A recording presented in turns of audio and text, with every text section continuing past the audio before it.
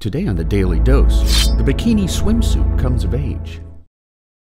On the 5th of July 1946, the bikini swimsuit was introduced for the first time, four days after a successful post war nuclear bomb test at Bikini Atoll.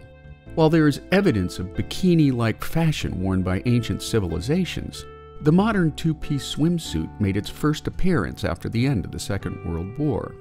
While swimsuits for women had gradually become less conservative during the first half of the 20th century, wartime fabric rationing forced designers to remove excess material, which resulted in more form fitting and figure enhancing swimwear that had less panels concealing a woman's body.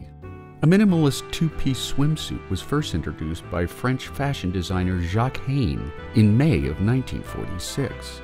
Named the atom after the smallest particle of matter, the bottom half still covered the wearer's navel. Meanwhile, French designer Louis Réard was working on his own design, which used even less material. Réard hired exotic nude dancer Micheline Bernardini from the Casino de Paris to model his creation, since he was unable to convince any of his usual go to models to wear it.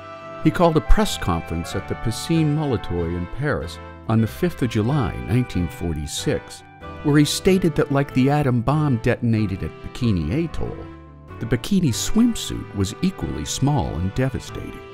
Despite wide coverage in the press, the initial reaction by the general public was one of shock and dismay. Even in the 1950s, some magazines continued to disparage the bikini, with Modern Girl magazine declaring it is inconceivable that any girl with tact and decency would ever wear such a thing.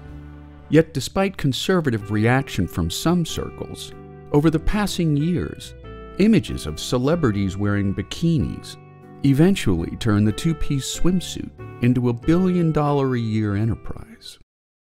And there you have it. The bikini swimsuit comes of age. Today on the Daily Dose.